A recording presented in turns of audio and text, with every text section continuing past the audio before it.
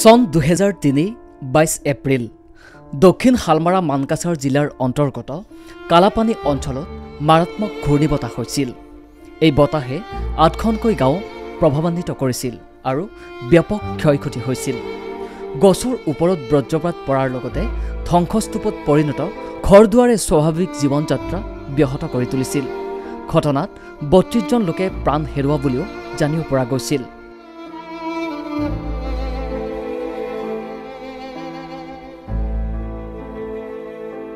প্ৰায় এহেজাৰৰো অধিক লোক গুৰুতৰভাৱে আহত হোৱা বুলি জানিব পৰা গৈছিল।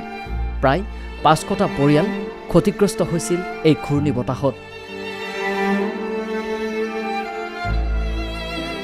বহুকেইজন লোক নিখোজ হোৱা বুলিও জানিব পৰা গৈছিল। ভাৰত মেট্ৰলজিকেল বিভাগ উত্তৰ পূৰ্বাঞ্চলীয় সম্ভাৱ্য বিজুলী ঢেৰেকনি সম্পৰ্কে এটা সাধাৰণ স্থানীয় সতৰ্কতা জাৰি কৰিছিল। কেন্দ্ৰীয় আৰু ৰাজ্য চৰকাৰে ক্ষতিগ্ৰস্তক সহায়ৰ বাবে পদক্ষেপ গ্ৰহণ কৰিছিল। বি এছ এফ কৰ্মীয়ে অঞ্চলটো পৰিদৰ্শন কৰাৰ লগতে ক্ষতিগ্ৰস্ত লোকসকলক উদ্ধাৰৰ বাবে অভিযান আৰম্ভ কৰিছিল। বি এছ এফ কৰ্মীয়ে আহত লোকসকলক প্ৰাথমিক চিকিৎসাও প্ৰদান কৰিছিল। তদুপৰি গাঁওবাসীৰ বাবে বি এছ এফ কৰ্মীসকলে নৈশ শিবিৰৰো স্থাপন কৰিছিল।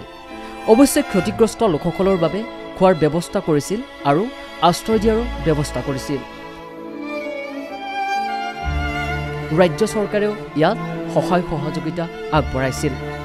প্ৰশাসনৰ শীৰ্ষ বিষয়া উপস্থিত হৈ ধুবুৰী তথা গোৱালপাৰা জিলাৰ পৰা আঘাতপ্ৰাপ্ত লোকসকলৰ বাবে প্ৰেৰণ কৰিছিল স্বাস্থ্যকৰ্মীৰ এটা দল।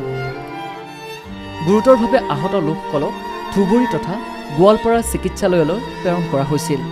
ৰাজ্য চৰকাৰে ভুক্তভোগীৰ মাজত ৰেচন সামগ্ৰীও বিতৰণ কৰাৰ লগতে ক্ষতিগ্ৰস্ত লোকসকলৰ ঘৰ দুৱাৰৰ মেৰামতিৰ বাবেও সাহায্য আগবঢ়াইছিল।